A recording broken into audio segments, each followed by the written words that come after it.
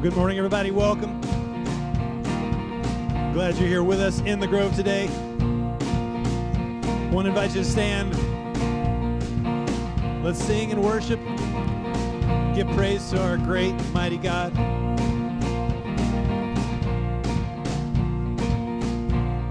Sing. Come, all you weary. Come, all you thirsty. Come to the well that never runs dry. Drink of the water. Come and thirst no more. Come, all you sinners, come find his mercy. Come to the table, he will satisfy. Taste of his goodness, find what you're looking for. For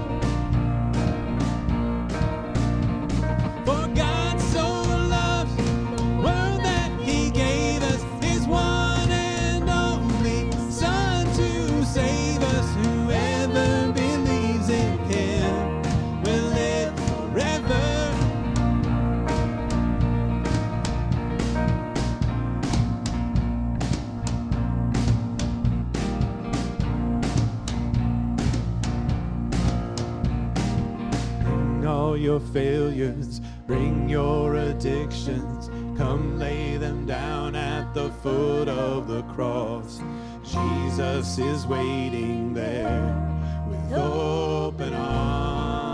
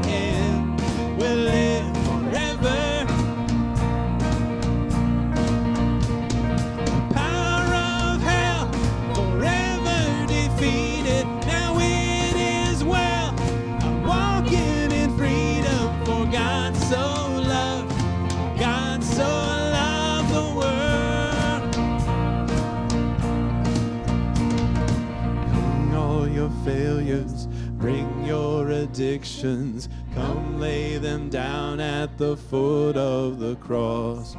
Jesus is waiting. God so loved the world.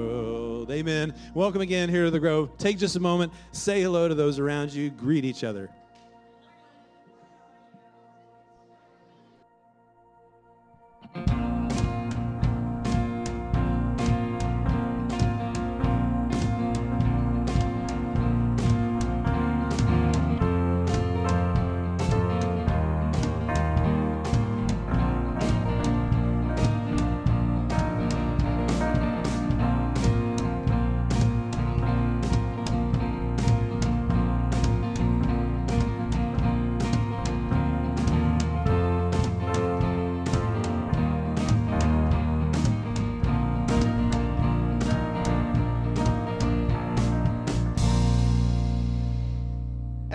Guys can go ahead and have a seat.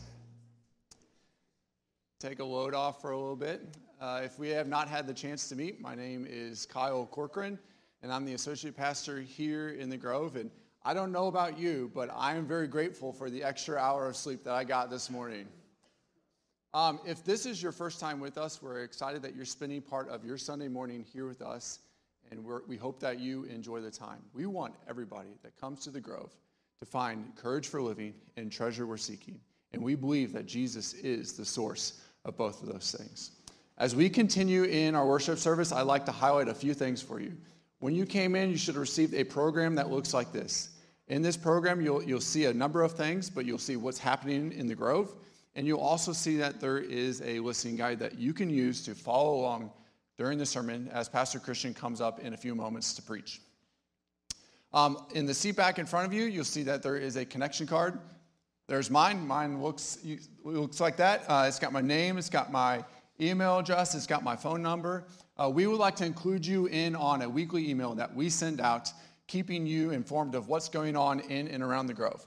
We do not want to spam you. We don't want to email you a bunch of times uh, every other day, uh, but we just do want to really keep you informed of what's going on here. You also note that there's a spot for prayer requests.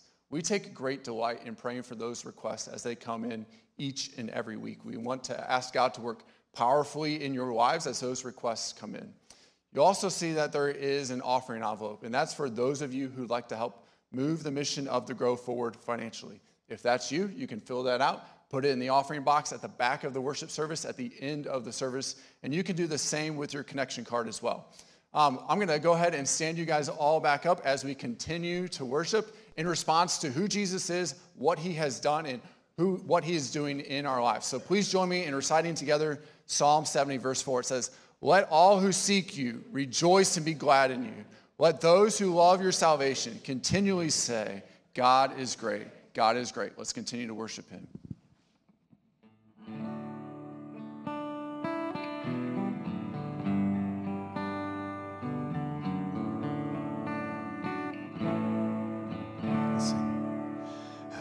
Deep the Father's love for us, how vast beyond all measure, that He should give His only Son to make a wretch His treasure.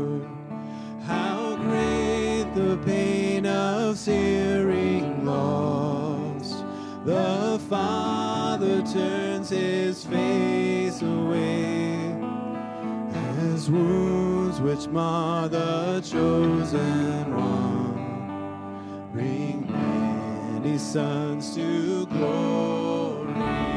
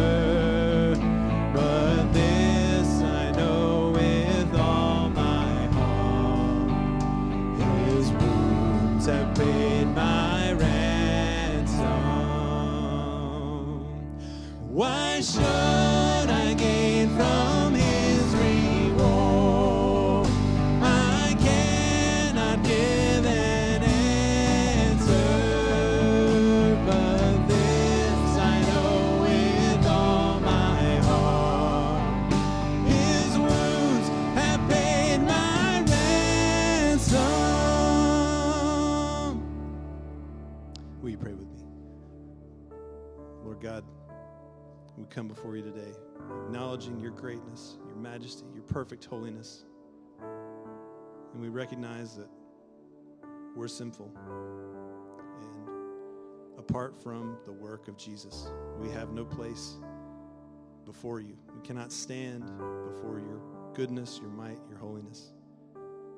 And yet, because of Jesus, we have the ability to come before you boldly, to worship you, and to ask for your help.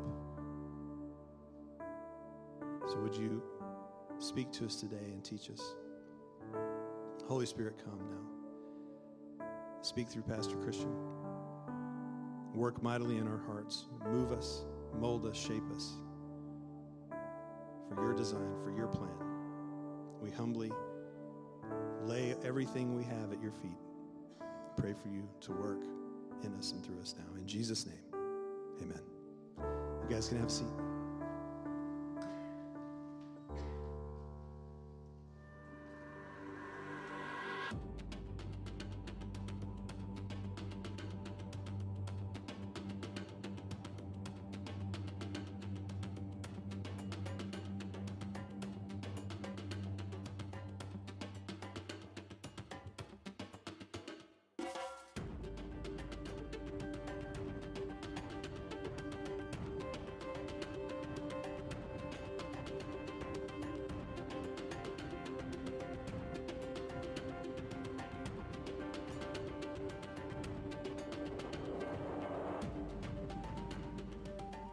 Well, hey guys, good morning. Welcome again. If we haven't met, my name is Christian. I'm lead pastor here, and we're continuing a series through the letter of First Timothy, a letter from the Apostle Paul, a guy who God used mightily to uh, plant churches early on as the, the movement that came out of what Jesus did uh, began to spread. He's a guy whose life was radically transformed, and uh, God then used him uh, in part to write a good part of the New Testament as well. And so he writes this letter to a protege, Timothy, younger man who he is going to entrust with a lot of the work that he had already started. And part of that work had to do with the church at Ephesus. He writes this letter because things are not going as well as they should be and could be there, and so he wants to help get things back on track. And Timothy's been sent to do that job, and, and now Paul's writing to him to help kind of buoy up that work, help inform Timothy, encourage, and encourage Timothy in terms of what is to come. And so we're almost at the, the tail end of the letter, making our way into the last chapter there. And I'll just remind you what we've been saying all along is that this is a letter addressed to Christ followers. It's addressed to the church. It's meant to, uh, it's directly to Timothy, but it's meant to go from Timothy to the church there at Ephesus and to then the church forever going forward. And so it's addressed then for Christ followers. And what we need to understand is that fighting is the family business. There, there's an aspect of fighting that's involved in being a Christ follower, but it's for now. It's this side of heaven. There's a day when the fighting will cease. And so we're reminded throughout this letter that we fight not against people, but for God's plan to advance. That's, that's the battle, is to see the plan of God advance. And it's a plan that yields ultimate and eternal peace. It's a plan in which we can enjoy a perfect relationship. That peace will bring about a perfect relationship with our Maker and with one another. So that's what we've been looking at. Then the nuts and bolts of how does that happen within the church? How do we need to move forward together in doing that? And last week, we looked at the importance of treating one another like family, recognizing that the church is the family of God. So as we looked at that, we said, you know, we're called to give as we have received from Jesus. We're to give to one another. And, and we're especially supposed to give in terms of honoring the widows among us. Each of us is responsible for our own families. But as the family of God, when there is someone who doesn't have family to take care of them, we have a special responsibility to honor them by caring for them. And today, We're going to continue along those lines, but turn our attention to those who lead us in the church and, and in our work even. We're going to look at both of those with a, an emphasis on leaders in the church. So I'm going to turn 1 Timothy 5. We're going to finish the chapter and then begin to dip into chapter 6, starting in verse 17. Uh, if you don't have a Bible with you, there's Bibles in front of you. Please use that or, or feel free to even take that home as a gift from us to you. You can pull it up on your phone. Um, some of the other verses will be, uh, that we look at will be up on the screens, but we're going to look here at 1 Timothy 5. Here's what the, the word of the Lord says it says, The elders who are good leaders are to be considered worthy of double honor, especially those who work hard at preaching and teaching. For the scripture says, Do not muzzle an ox while it is treading out the grain, and the worker is worthy of his wages. Don't accept an accusation against an elder unless it is supported by two or three witnesses. Publicly rebuke those who sin so that the rest will be afraid. I solemnly charge you before God and Christ Jesus and the elect angels to observe these things without prejudice, doing nothing out of favoritism. Don't be too quick to appoint anyone as an elder, and don't share in the sins of others. Keep yourself pure. Don't continue drinking only water, but use a little wine because of your stomach and your frequent illnesses. Some people's sins are obvious, preceding them to judgment, but the sins of others surface later. Likewise, good works are obvious, and those that are not obvious cannot remain hidden. All who are under the yoke as slaves should regard their own masters as worthy of all respect, so that God's name and his teaching will not be blasphemed. Let those who have believing masters not be disrespectful to them, because they are brothers, but serve them even better, since those who benefit from their service are believers and dearly loved. Let me pray for us. Father, I do thank you for your word. Thank you for its truth and uh, the practicality of it. I thank you most of all that it reveals you to us. It allows for us to, to know you better. Um, you have spoken so that we could be your friends. We could be a part of your family. And so we thank you for that. I do confess, Lord, as we look into this, there's, there's a couple potential problems. One being that I might be self seeking because this is dealing with my role specifically. Um, but another potential problem, Lord, is that I would blunt the edge or dull the edge of something that you intend to use sharply to uh, do some heart work in us. And so I pray that, that neither of those would be the case, but instead your truth would be clear and that you would use it to help us to walk in obedience with you. You are good, Lord, and I thank you for that. And uh, we pray these things in Jesus Christ's name. Amen.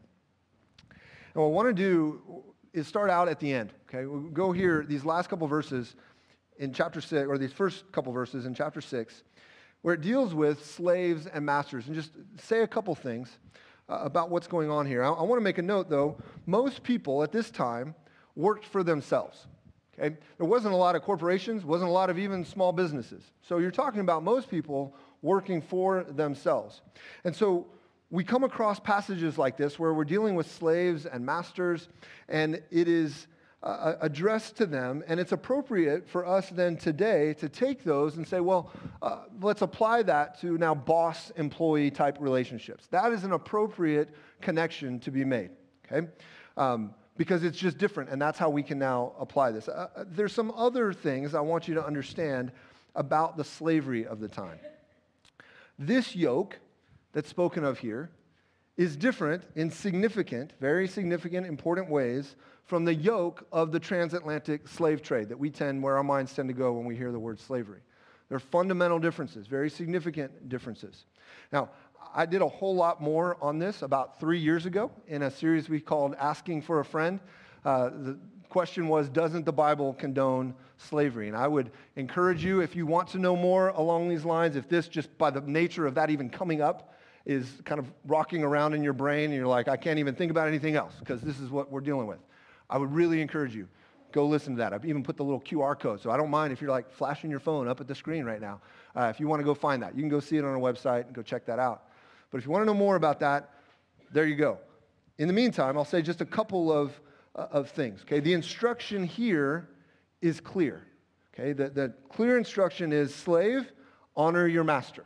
Okay, now, especially the instruction comes to those who are also your brother in Christ, right? It says, especially obey and, and, and honor your master if he's a brother in Christ. Don't think that you get to slide just because you guys are both Christ followers. Instead, he says, serve even more diligently. Now, why? Paul goes on, he says, so that God's name and his teaching will not be blasphemed. What Paul's getting at here is that there is a watching world who will get the wrong impression if you treat this leader disrespectfully. And that's his concern.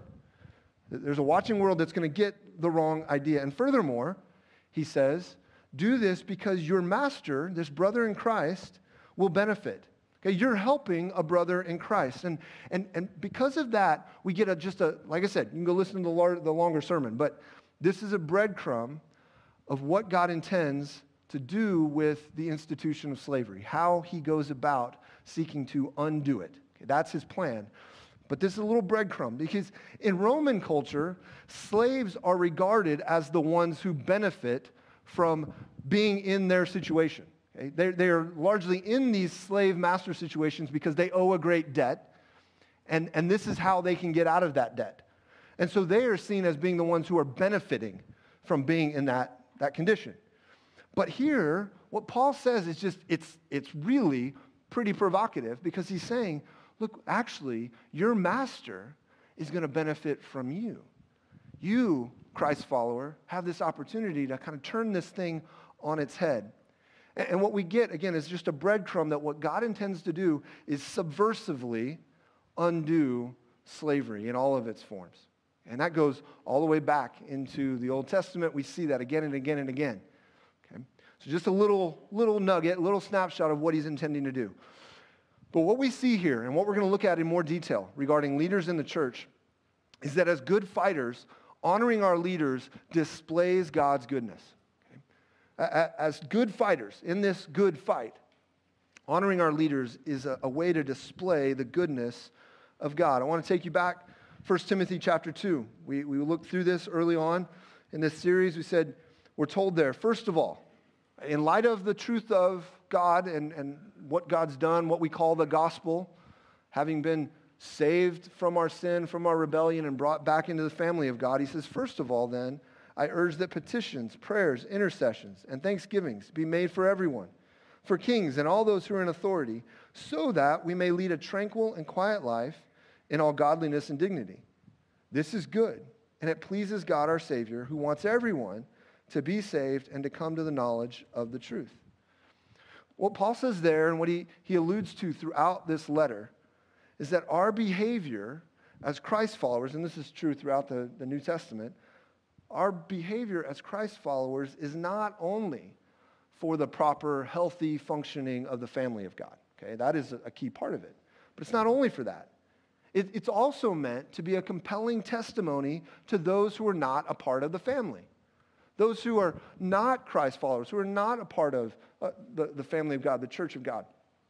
They should be able to look and go, you know, I, I don't really believe what they believe, don't really care for a lot of that, but you know, there's something there. There's no doubt. This makes a real difference in their lives. There's no doubt that it, there's, there's a different quality to their living as a result of their trust in this Galilean carpenter who lived 2,000 years ago. And I mean, we know was dead, but they believe is still alive. It should make a difference. Because the family of God only exists because God wants us to be rescued from our rebellion and reconciled to him, right? That's why the family exists. And so in light of 1 Timothy 6, 1 through 2, we should be careful to honor our leaders in the workplace. Okay, that is a natural application of what we just read. Don't walk away here thinking, yeah, that doesn't apply to me. No, it does. That, that's absolutely something you should be thinking about. Is how am I treating my leaders, regardless of whether they are a Christ follower or not, and rather, whether they're even a great leader or not, how am I treating them? Am I honoring them in their position? But today what I want to do is really focus on 1 Timothy 17, 5, 17 through 25, and what it means to honor leaders in the church, specifically those that serve as pastor elder, this role that, that I'm in. Okay. Pastor Kyle, our associate pastor, okay, what specifically, how do we think about that role? Okay. I came across this article thinking about this. Came across an article from that great bastion of truth, the Babylon Bee. Okay? Here's the, here's the headline from a few years ago. Pastor, still not sure how he landed this sweet job where he only has to work one hour a week. Okay? Sweet job. Now, here's a quote from the, the pastor in the article. You'd think there'd be more to pastoring, like visiting people, studying for sermons, planning, planning a service, counseling church members. But nope, he said as he relaxed at home and prepared to fire up another round of Call of Duty. I just show up on Sunday, share what's on my heart, and that's literally all there is to it. Now, hopefully you understand this is satire, okay? That's not a real article, not a real pastor, I hope. Um, what I want us to see is that in the church, there is more to this role. And more importantly, see that honoring leaders is right and good. And as we'll see today, it involves providing for them, it involves protecting them, and it also involves really just understanding why we should do those things. Okay, so let's dive in. The first thing that Paul tells us here is we honor leaders with the privilege of respect and support. We honor leaders with the privilege of respect and support. He says in 17, the elders who are good leaders are to be considered worthy of double honor, especially those who work hard at preaching and teaching. For the scripture says, Do not muzzle an ox while it's treading out the grain, and the worker is worthy of his wages. Now, important to recognize, it says, I said privilege. On the one hand, this is the, a responsibility of the church. That's what Paul's saying. Look, the church needs to do this thing. But it's really vital that those who serve in this role understand this is a privilege. This is not something that is, they should just take for granted or demand. It is a privilege. And so here says, here the instructions to the church are, give these folks double honor. Give these men double honor. What he means there is respect and support, okay? Financial support. Sometimes when he uses that word honor, he has in mind the respect that they deserve. He's just talking about respect, the respect that would come with following their leadership.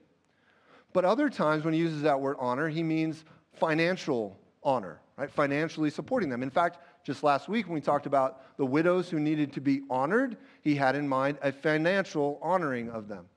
So he's using it both. When he says double honor, he means honor upon honor. These two kind of forms of the honor that, that they are due. You say, well, why? And he, what Paul does is he takes us back into the Old Testament and into the very new scriptures of what Jesus has said. So he quotes first Deuteronomy 25, verse 4. He's quoting Moses, who says, hey, look, the ox who's treading out the grain should get to eat some of what he's producing. And Paul actually elaborates on this in another letter to the, the Corinthians, 1 Corinthians 9. And he brings up this same verse and there he, he kind of drives at this larger conclusion. He says in verse 11, if we've sown spiritual things in, for you, is it too much if we reap material benefits from you? Notice what he's connecting. He's saying, We've done something spiritual. We're leading for you. There's a spiritual benefit for you. And so it is appropriate, in light of what the Old Testament has said, that we would benefit materially from you.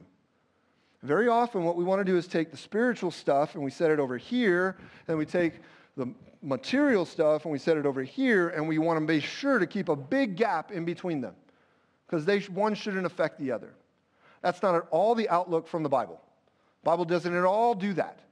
This is, that's pagan thinking, okay? It goes back, there's all kinds of times where that's shown up, where we do this and we separate these things out. That's not what the Bible does. And In fact, so then we say, no, there are spiritual things going on, those have material outcomes. They have material benefits. And, and part of the way we think about that is when it comes to providing support for those who lead in the church. He also quotes Jesus.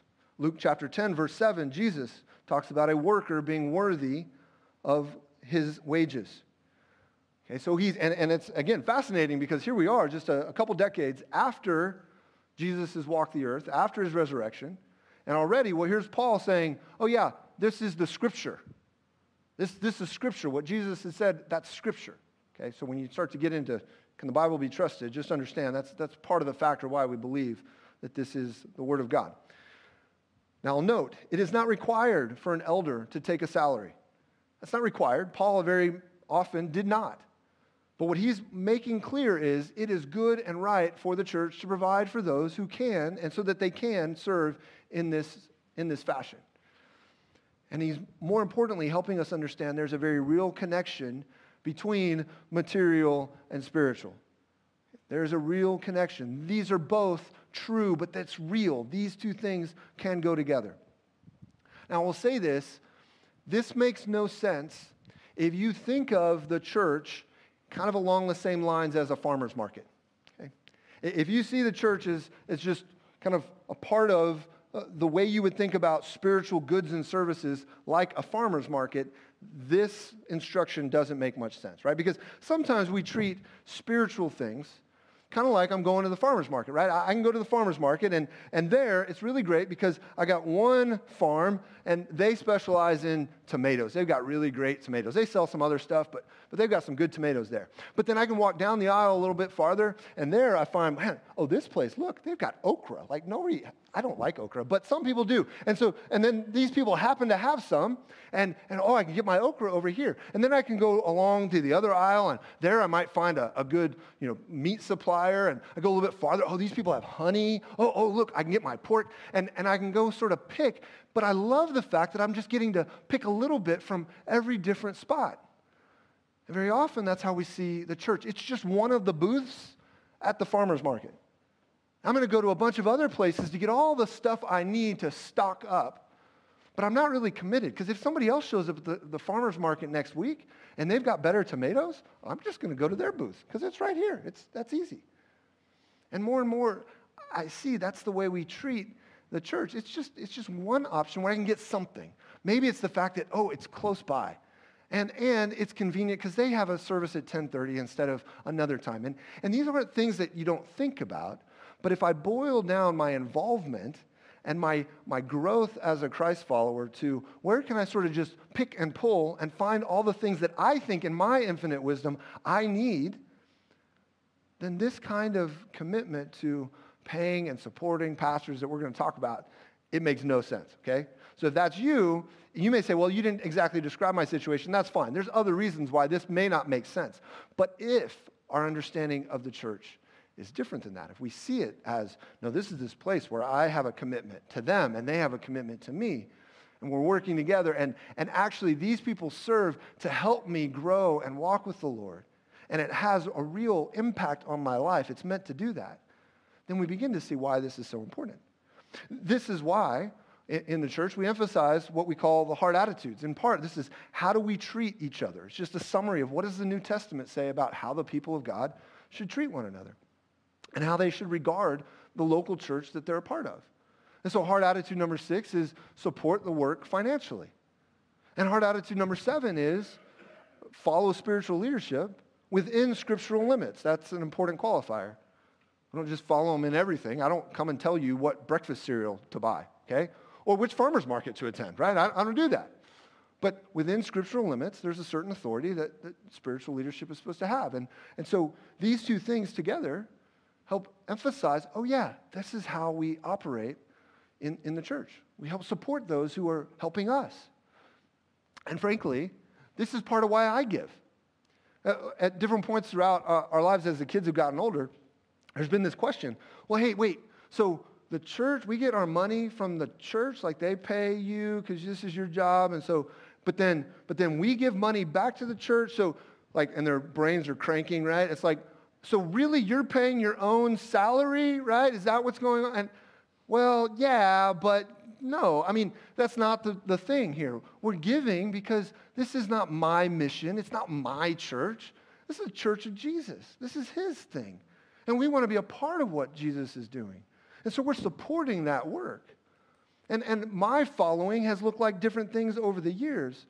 But this is just a part of what you do as a saint who's committed in the local church. And so I would ask you to consider what, what is your outlook on the local church? How do you think about that?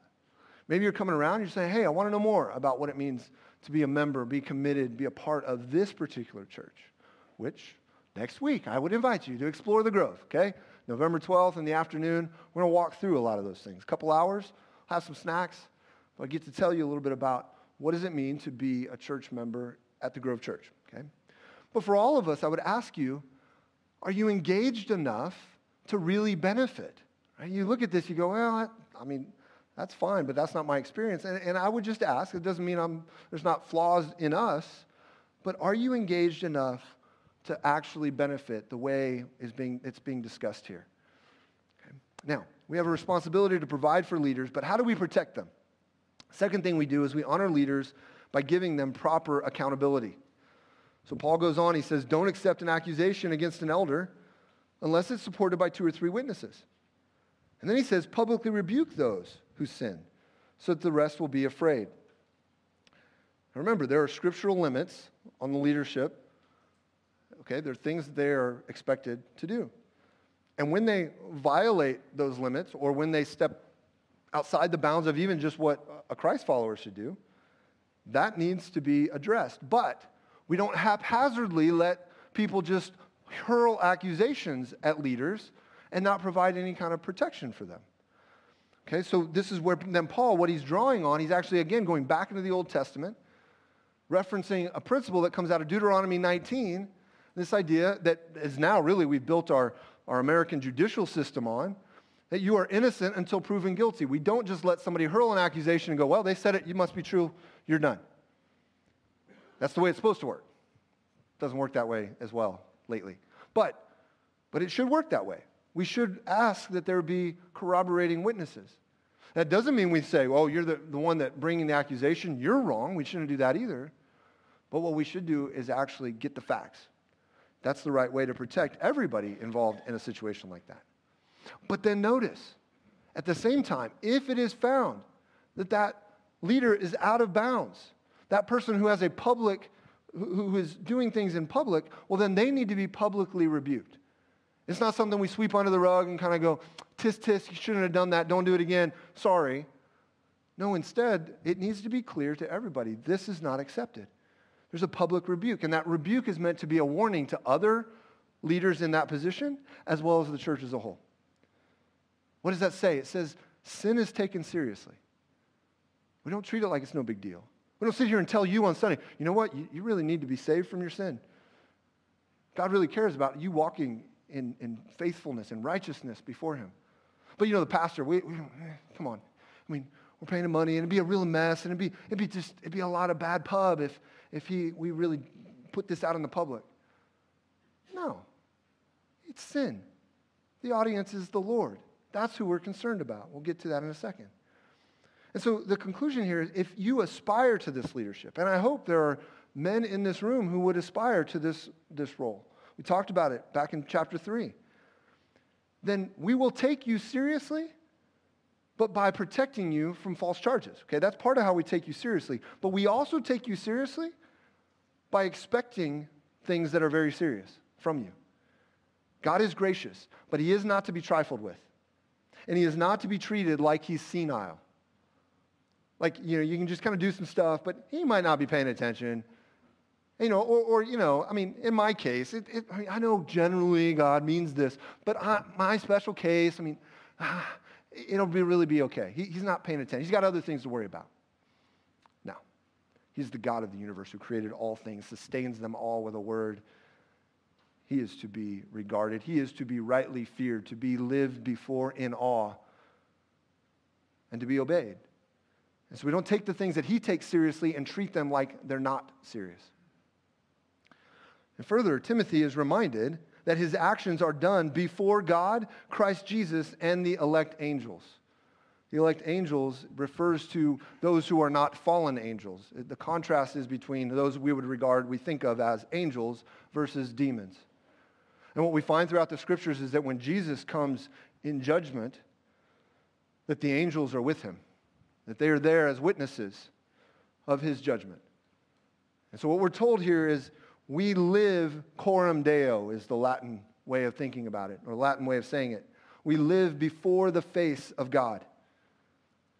This is really important for leaders, important for all of us, but leaders especially to understand human accountability is important, but leadership that merely tries to please others or avoid being caught by others is rotten at the core. And it will spoil. It, it will become evident This is part of what he talks about later in verse 25 or 24 and 25. The, the sins they will, they, that seem hidden, they will come out. And even the good that you think, oh, I'm just plugging away, doing it faithfully, that will come out as well. So, we have to take account of the fact that we are accountable, most especially to God Himself. And so, what I would ask you in light of this, and talk about accountability for your pastor, is first off, pray for me. Pray for us. Because, one, it, helps me be a better pastor because I need your prayers. But two, it also, that's part of how our, our love for one another grows. I pray for you and my love for you grows because I, I, know what you're going through and I'm, I'm praying and asking the Lord to work through those situations. You pray for me and you have actual care for me. So yes, you need to be paying attention. Hey, is he doing something that's right here? Am I confused by something here? Is there something going on? Yeah, you should be paying attention to that stuff. Absolutely. Because I need to be accountable. But if it's accountability minus any kind of care or love, man, it saps the life out of this thing. That's not how we're to treat one another. And so we pray for each other. And then I will say, assume the best and ask questions. Okay? If that's our posture with one another, I assume the best, but ask questions. Sometimes people think, oh, I'm going to assume the best, so I just, I won't ask. You know, we'll just kind of, no. If something doesn't strike you right, if you have a question about something, if you think something's off, first don't assume that there's something sinister but instead assume the best, but still ask the question. You absolutely should be doing that because we grow out of that. And if something's not clear, well, then let's clear it up. Or maybe something's just off, and it really does because we live before God. We really do need to deal with it. We don't sweep these things under the rug. We treat them with the seriousness that they demand because of the God that we love and serve. Now, we provide and protect leaders, but why do we do this? We've touched on it. You say, oh, you probably this will seem obvious. But we see clearly here in 1 Timothy 5, we honor leaders because they bear a distinct responsibility. We have a responsibility. And, and that's why the, the privilege comes with it and the accountability comes alongside of it. So again, back to chapter or verse 17, the elders who are good leaders are to be considered worthy of double honor, especially those who work hard at preaching and teaching. The word there, those who are good leaders, it's literally those who rule well. There's an oversight aspect of this role. And then there's a teaching, preaching, okay, discipleship aspect, leading in that regard as well. So we bear a specific responsibility. But then even later, here in 22, there's a responsibility to Timothy, where Timothy's told, hey, don't be too quick to appoint leaders and pay careful attention to the leaders that you appoint. Know their character. He's, again, hearkening back to 1 Timothy 3. Pay attention to their character. Pay attention to the kind of men that they are. We don't just put them in the spot because they're charismatic or because they've got really good skills. Pay attention here. Be careful in appointing elders. And, and it's an instruction to Timothy, but no, Paul foresees the time when Timothy is going to leave. So what Timothy's doing is setting a template that the church will follow in the future. It's important that they understand how to do this. They understand what the responsibilities are. So, so Timothy has a responsibility. And because it's his responsibility to appoint these elders in the right way, Paul says, you're going to be held accountable. If all you do is go round up the guys that you have the most fun hanging out with, and then those guys drop the ball because they don't have the character that this role demands, Timothy, that's going to be on you. Keep yourself pure. Watch yourself in how you go about this. You can make it really easy on yourself. That's not your calling. Your calling is to do what is right before the Lord. Keep yourself pure, which then leads to that weird sort of thing that happens out of nowhere. So don't continue drinking only water, but use a little wine because of your stomach and your frequent illnesses. I think what's going on here, what scholars seem to think, is that probably what Paul has in mind. He's, he's talking about this thing, but it reminds him, oh, yeah, when we're talking about purity, Timothy, like, you're great, but we know you kind of have a weak constitution, okay, and you're sick again like you need to actually drink a little wine. And probably Timothy's not drinking wine because he's trying to set the pace, not because the scriptures say you can't do that, but there are warnings about abuses of that. And so maybe what Timothy's done is said, you know, I'm just going to abstain from that because I'm, I'm trying to set a good example, really lead well. And Paul says, hey, look, it's really okay. Your purity is not based on having some wine. that's, gonna, that's intended to be medicinally helpful. So he's probably addressing that. He's probably also pushing back against, as, as Pastor Kyle talked about a few weeks ago, those who, in the church who are arguing, these false teachers who are arguing that, that the only way you stay holy before God is to deny yourself all of these good things that God says are good. So he's pushing back on that, and he's trying to help Timothy stay healthy and do the job that's before him. And then he gets back and he says, Oh, yeah, and a reminder some people's sins are obvious, others, it's going to come out later. Be diligent. Pay attention to the character of the people that you appoint here. And why are they to be held accountable? Why is this so important? Because they have a tremendous responsibility.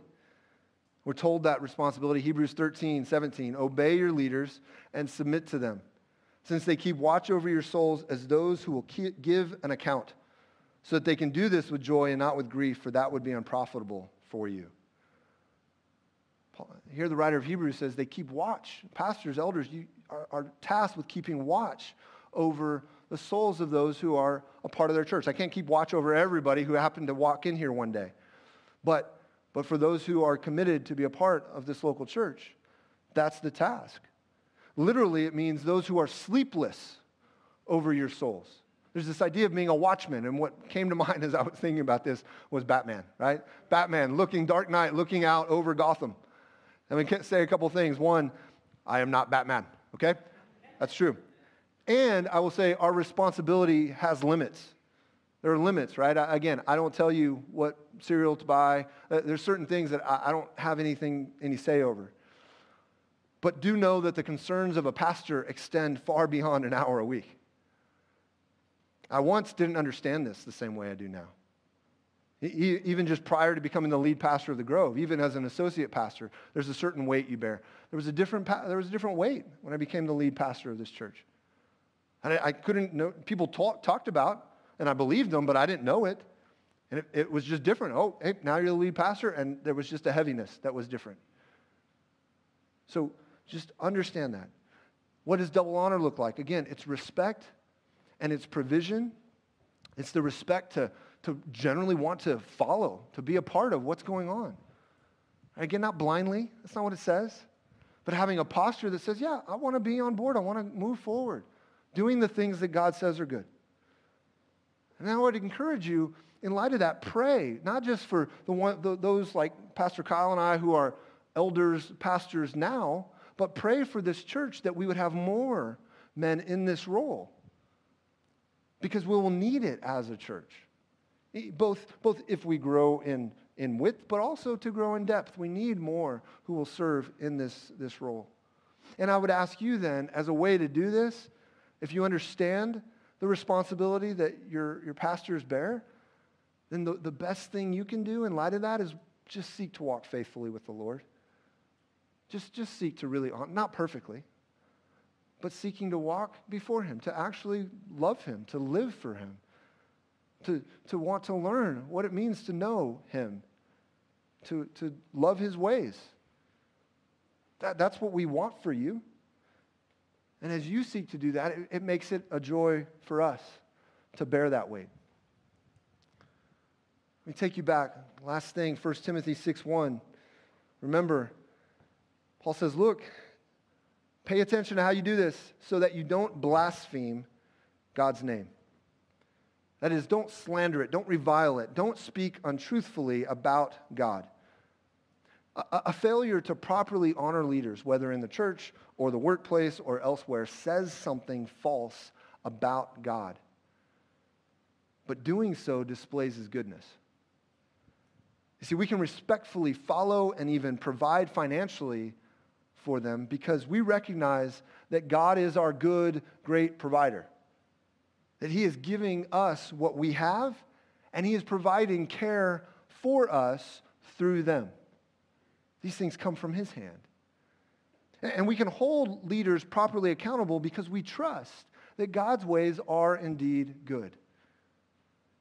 And we understand that the responsibility our leaders bear isn't something they conjure up, it's appointed by God Himself. Furthermore, we honor our earthly leaders, recognizing, recognizing that either in making us long for better leadership or in giving us a taste of what good leadership is like. In both situations, they point us to our good, great, gracious, glorious, ultimate leader, the perfect leader, Jesus Christ.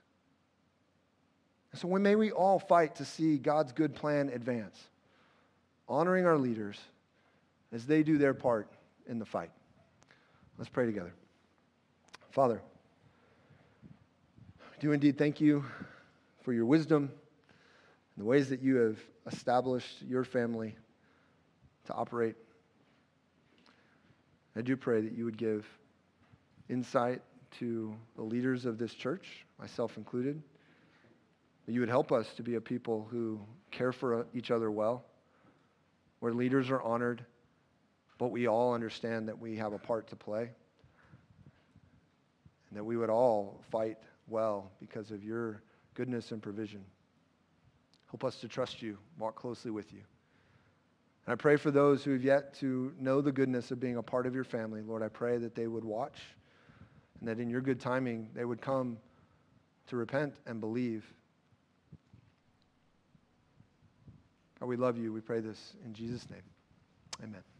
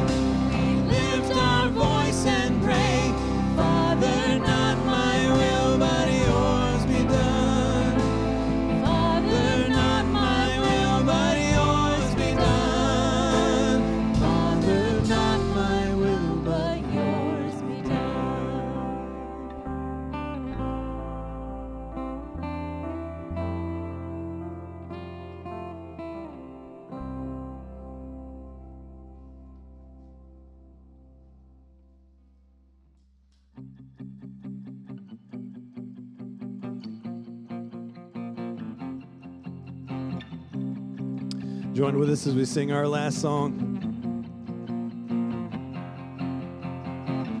Father, we long to please you much more than anything, so we will lift our voices and worship you as King. Your ways are so much higher than our own, much deeper than the sea, and only you know who are and what will be.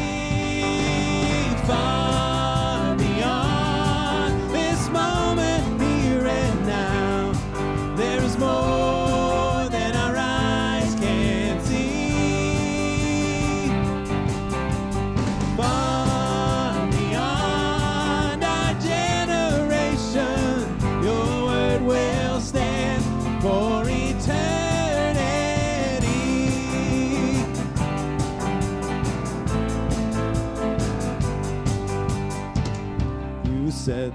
work in motion before the dawn of time, and soon you will accomplish all that you have in mind. You've called on us to join you in this fight, a call we can't ignore. You've given us a glimpse of what you have in store.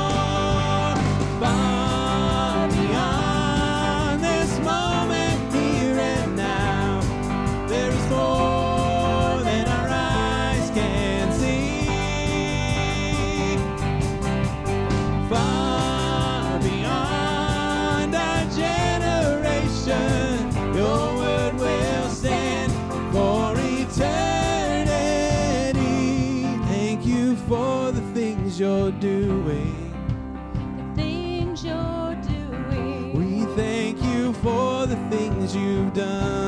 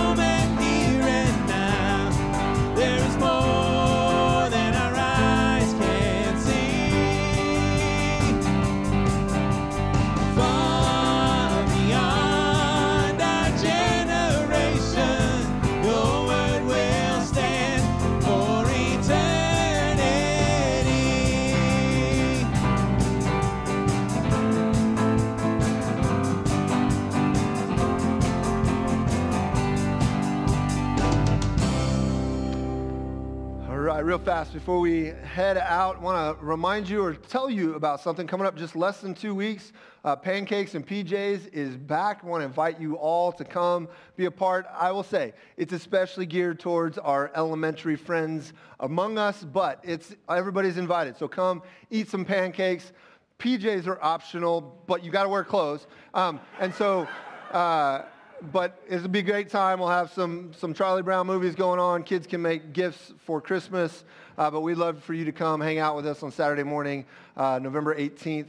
Come be a part of Pancakes and PJs and invite your friends, invite neighbors and family. Come be a part of uh, what is a, a great time. We're glad to get to do that again. Um, today, I want to pray. It is an election week. I got some things going on here locally uh, that we'll be uh, voting for. So I want to just pray in general for our government leaders. Join me as we pray.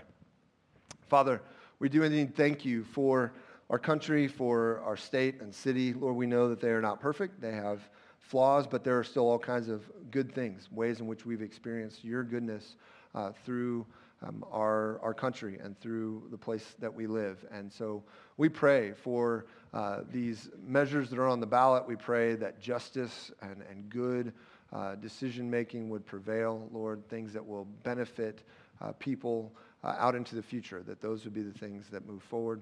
And Lord, we ask that you would work mightily in our uh, local and state and, and federal government leaders, that you would grant wisdom and insight. Um, Lord, help them to do what is, is just in your sight, what is good for people.